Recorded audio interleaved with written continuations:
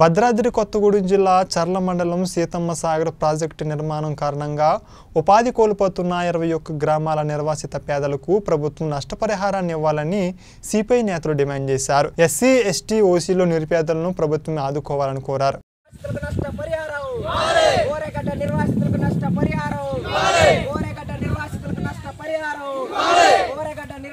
నష్ట పరిహారం ఓరేగడ్డ నిర్వాసితులకు నష్ట పరిహారం ఓరేగడ్డ నిర్వాసితులకు నష్ట పరిహారం ఓరేగడ్డ నిర్వాసితులకు నష్ట పరిహారం ఓరేగడ్డ నిర్వాసితులకు నష్ట పరిహారం ఓరేగడ్డ నిర్వాసితులకు నష్ట పరిహారం వర్ధిల్లాలి కోరగడ్డ నిర్వాసితుల ఐక్యత. ఓరేగడ్డ నిర్వాసితుల ఐక్యత ఓరేగడ్డ నిర్వాసితుల ఐక్యత ఓరేగడ్డ నిర్వాసితుల ఐక్యత ఓరేగడ్డ నిర్వాసితుల ఐక్యత ఒక్కలకి నాలుగు లక్షల రూపాయలు.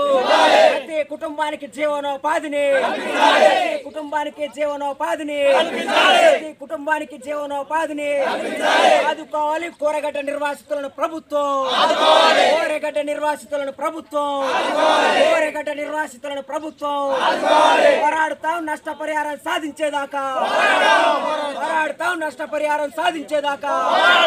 పోరాడుతాం నష్టపరిహారం సాధించేదాకా. కోరెగడ్డ నిర్వాసితుల ఐక్యత.